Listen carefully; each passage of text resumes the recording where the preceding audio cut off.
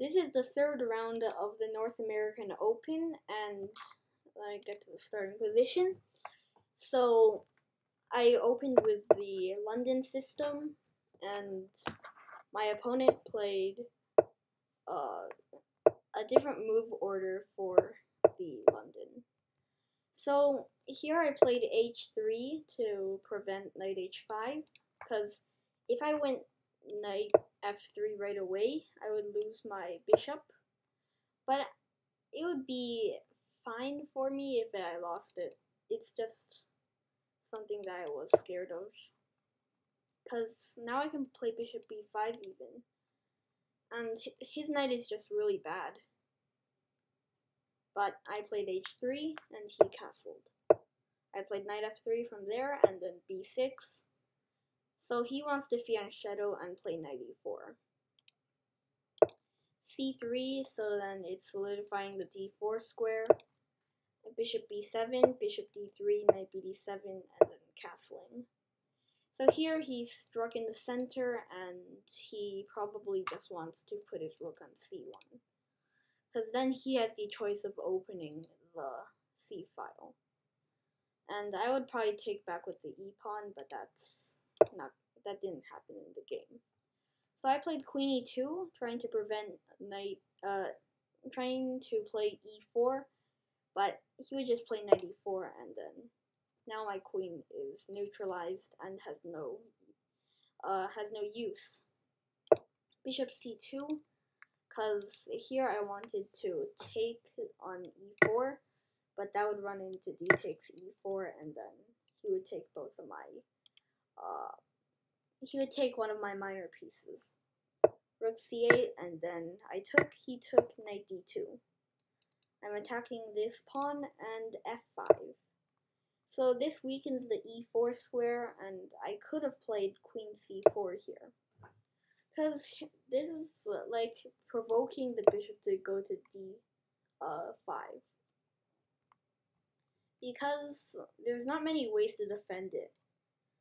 But there is rook f6, and well, that could actually work. So I only calculated bishop d5, and rook f6 would probably be the best way to defend it. But if he played bishop d5, then this queen c4 move will just be provoking this bishop to go to d5, and now you can go queen a6, and he can only play rook a8 to defend his pawn. But of course, there's also some cons of taking the a7 pawn. So say if it, he wants to maybe attack on the king side now, although his pieces aren't really there yet, he has to play this and then somehow use this knight, probably with knight f6 after rook g6. But that would be kind of like a clutter.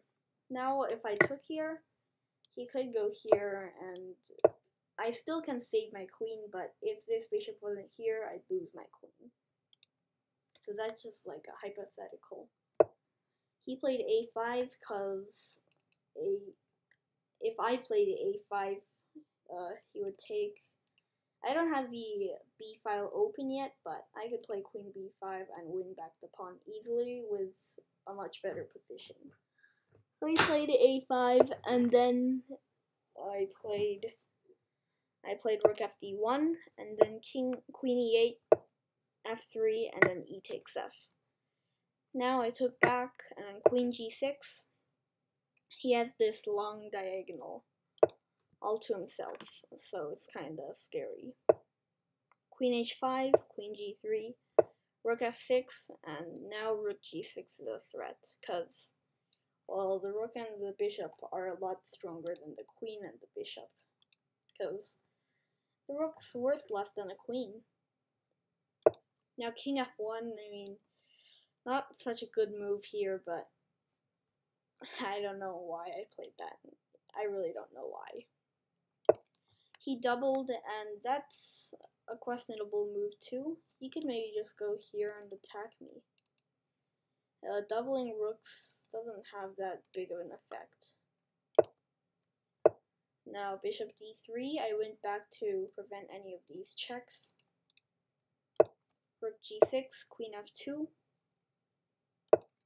knight f6, and bishop e2.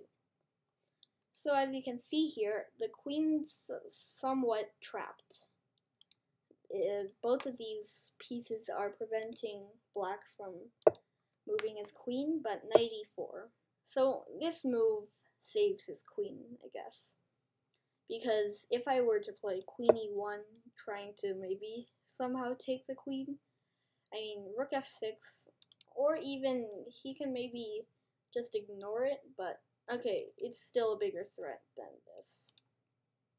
I was think of, thinking of something like maybe along the lines of this, but you know that actually might work.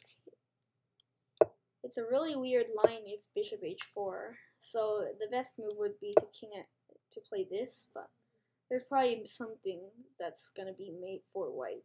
I mean, this is just way too dangerous. Yes, this is gonna be. This isn't mate yet, but bishop h4 is always the move, and this is mate. Yeah, so obviously that wouldn't work. So, okay, I went really deep into that line. So I played knight e5 instead of queen e1, and he took, I took, he took, and I took. So here, I was thinking this move isn't good, but it's actually the best because it's a check. So I have to take it. If I don't take, I'd lose all my pawns.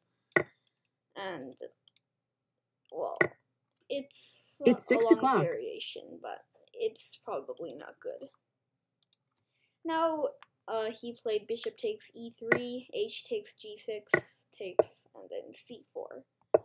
I played bishop f4, he went here, rook e8, rook e1, and then bishop d5. So here I thought I would just be winning a pawn taking this, and he even like made a reaction, and it, it looked like he he was acting as if he was gonna lose, but then right after he just found a move. But he obviously saw that before. I thought I could save it with g4 because if he took, I would take, and that would win back the material. But even actually, that doesn't work. I didn't see this. This would still be pinned, and I would lose. Hmm, so I think he missed that. But g6 is also fine. And here it's actually equal because after all this, okay, I'm not supposed to take this because if it, I'm down material, I'm supposed to just keep as much uh, pieces that are not queens on the that are not pawns on the board. But I took, and that's the mistake that made me lose. But I actually could have gotten it back. I played g5, and all the way up to here, he's still winning. But uh, to here, he made it a draw. But I still lost it because I I played king g4, which is an unnecessary move. Playing g6 would would draw because say if he, he wants to take my pawn, I would go here, he goes here, I took I take and then now it's impossible to for him to win. This pawn won't be staying on the board because after b4, which is inevitable, I could maybe even win if it, he doesn't defend his position well. But king f7, and I lost the chance, and after this, it was lost. d5 was another mistake. It was only minus 1.2 in this position, but it made it checkmate in 41. Uh, I don't care about that, but okay, after these moves, it's lost, and I resigned. The funny thing here is, if this bishop was on a light square, it would be a draw, because the pawn promoting square is dark, and this one, this bishop is also dark squared, but if it was light squared, it would actually be a draw. You can search it on YouTube if you want. But yeah, that's about it for this and I have about 1.5 points out of 3 in this tournament right now. Okay, cool. I actually recorded everything. I actually did several takes. Well, yeah, bye.